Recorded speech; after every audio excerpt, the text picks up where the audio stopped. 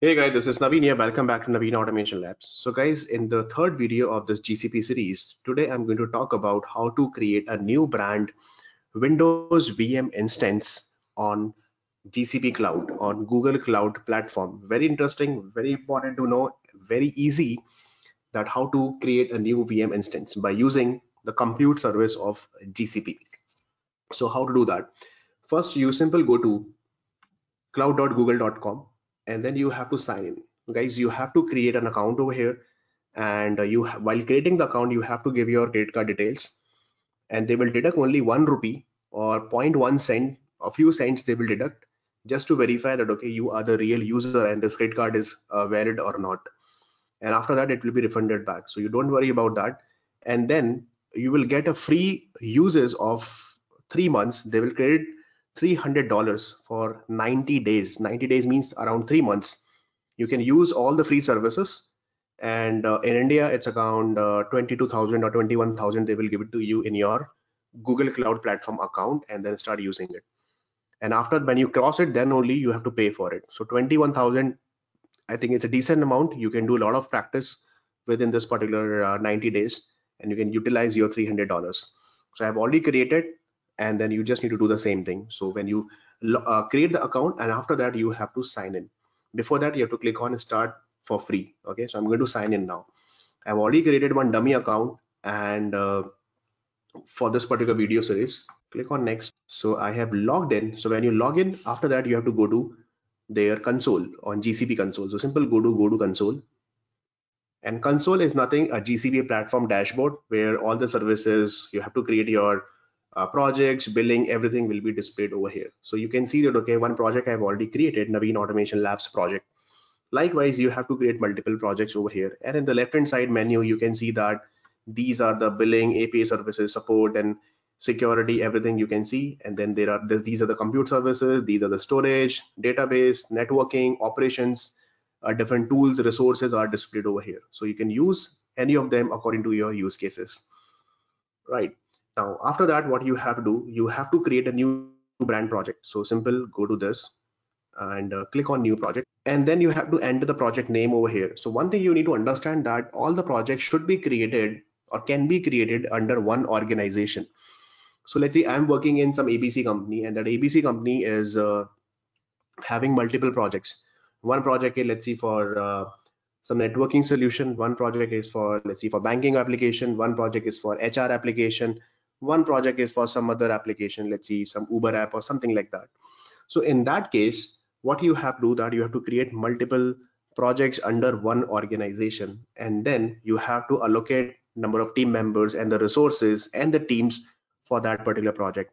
So organization is the umbrella. Under that umbrella you will have multiple uh, projects and under those projects you have to create multiple services. You have to use that like vm or uh, Docker engine or Bigtable or big data, whatever you want to use that.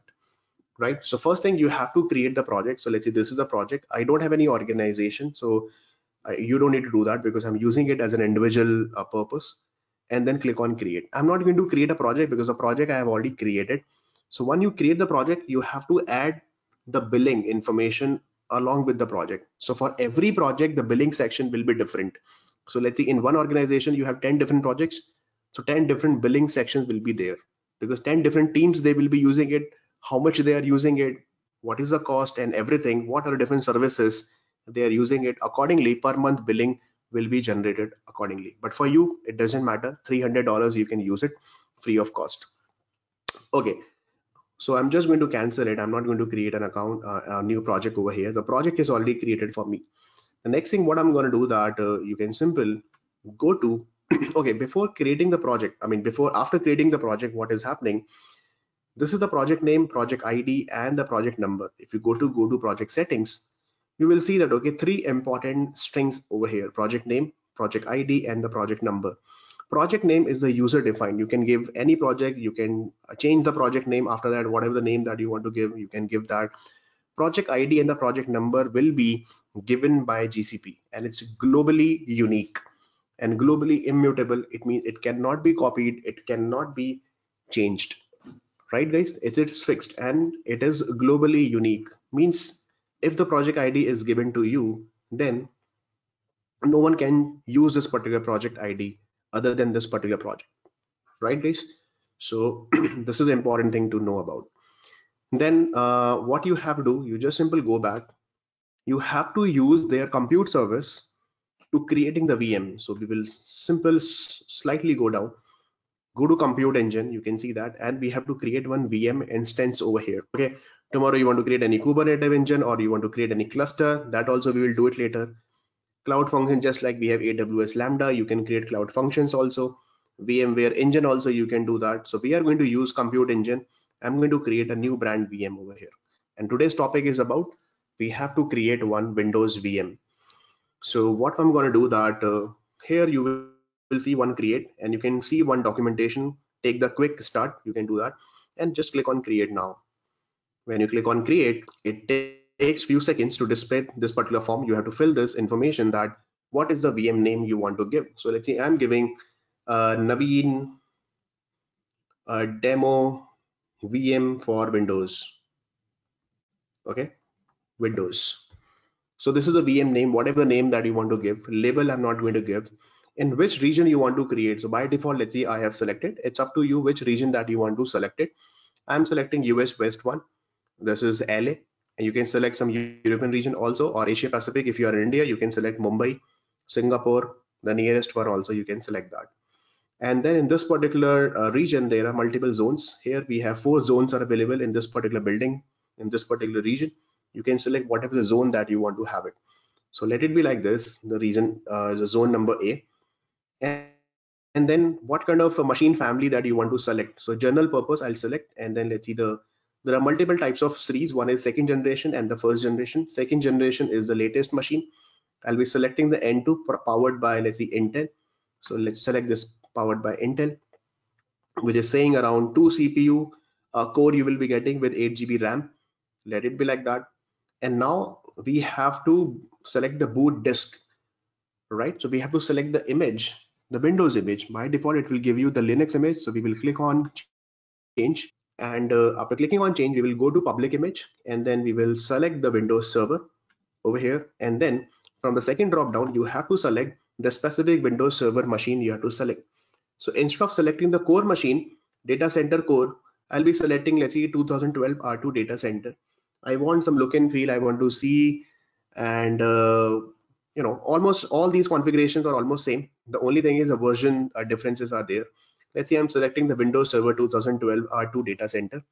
Select this and then persistent disk I want to select. Minimum size you have to put the storage. That is a hard disk size is 50 GB you cannot write 10 over here or less than 50 it's saying the size cannot be smaller than the size of the chosen disk image 50 GB. So we have to at least make it 50 GB. That is more than enough for you guys.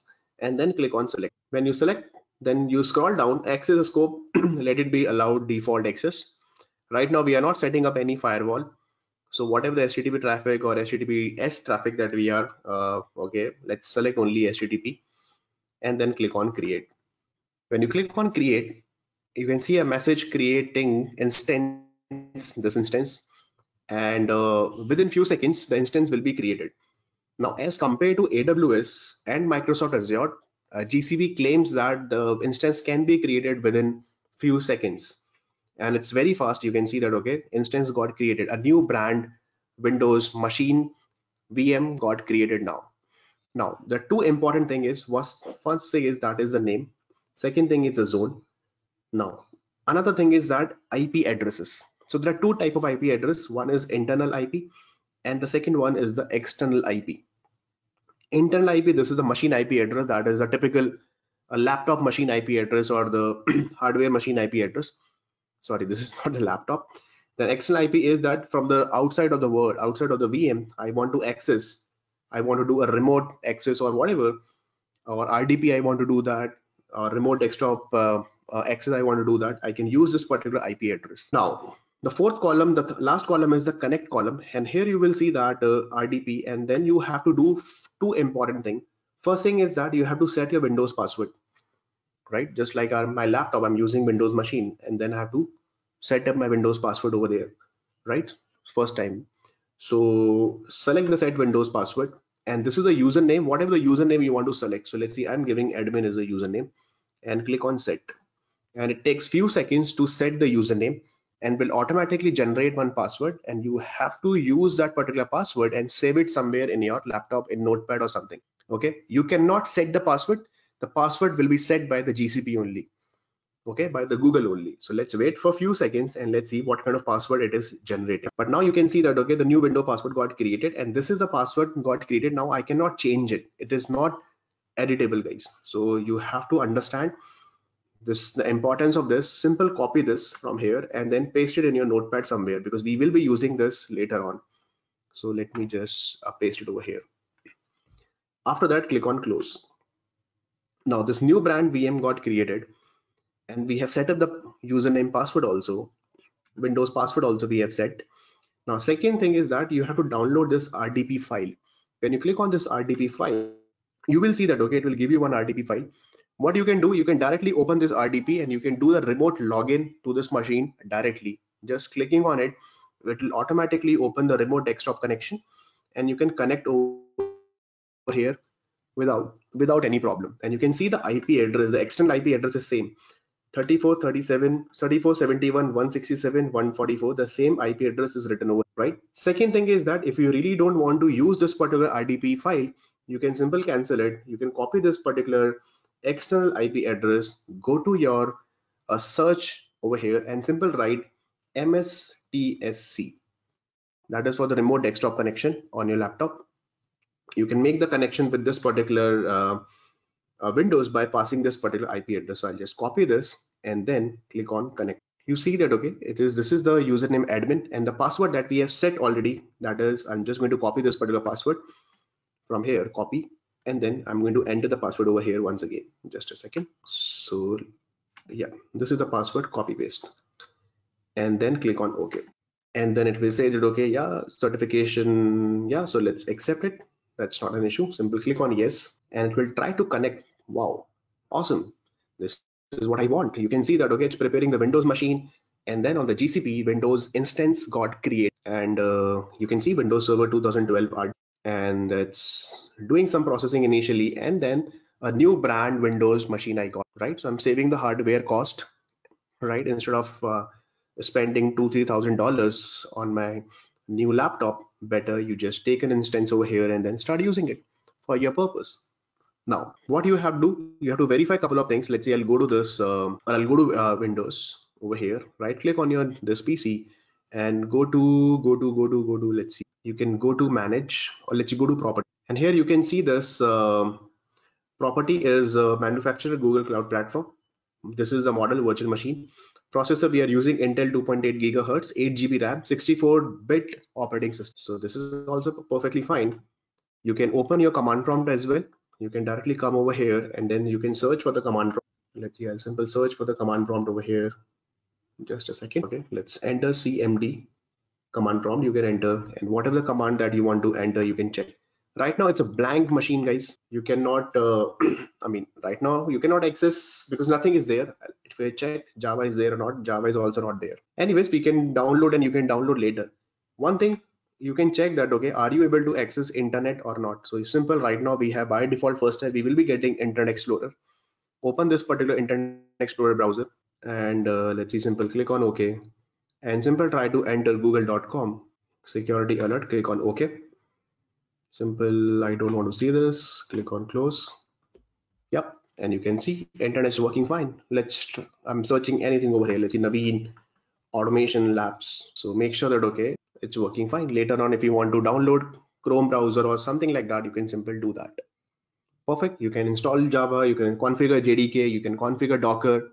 Everything you can install it over here like that so that those things i'll tell you later in the next video but this is the first video that we have to understand how to create a windows instance. Likewise you can create linux instance also. So once your work is done guys you can simple minimize it also and you can simple open it also like that. So when you minimize it you can see your uh, laptop machine laptop screen and this is the remote desktop for that gcp cloud vm instance. I can simple close it also means connection i'm going to disconnect now. Now once your work is done you can simply disconnect you can suspend this particular machine. Why to use unnecessary? Otherwise it, they will they might keep charging you very few cents or few rupees over there. And the charges are very very minimal so you don't need to worry about it. I'm, I'm pretty much sure everyone can spend some some amount of money for practice. Hardly it will cost you very less amount of money. Now one thing how will you make sure that okay that you are able to connect or you uh, this machine is up and running or not what you can do you can do you open your command prompt and uh, let me just clear the screen and you can ping this particular machine that this machine is up and running or not. So you open your command prompt in your laptop simple write ping and the IP address of this machine 71.167.144 and then ping it.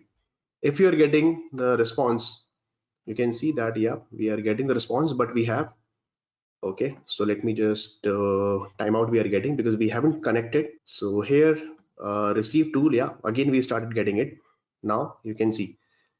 If you're getting some packets over here send equal to 4 and receive equal to 2 it means the machine is up and running. So you can check it once again. You can ping it once again and check the machine is up and running. See you are getting the reply from the machine like that. Okay so it means the machine is up and running. You can ping it directly from there directly. Okay from the command prompt. Okay so this is the VM and once the VM work is done, you simply select this particular VM and there are multiple choices. You can restart, you can refresh the uh, VM, you can uh, simple start once again when you suspend it, when you stop it, you can restart once again. This is just like restarting the hardware, restarting your laptop. Same thing, you can restart your machine, the VM machine also. And then uh, reset also you can do that. And then if you really want to delete, right guys, so better to delete once everything is done okay so i'm just going to delete this and click on delete. And after a few seconds they will be calling uh, delete api to delete this particular vm so vm will be deleted after after some time right? So this is about the creating of the windows vm on gcp cloud. Very simple just like we were using aws ec2 instance that we created. Same thing we are doing it over here. On gcp we are using the compute engine service and creating a new brand Windows VM over here. Now you can see that VM got deleted. I don't have any VM in this particular project. Okay guys. So thank you so much. Thanks for watching this particular video. If you really like this video, please subscribe to the channel and like it and click on the bell icon so that you will be getting the notification for the next video. Thank you so much guys. Thanks for watching this video.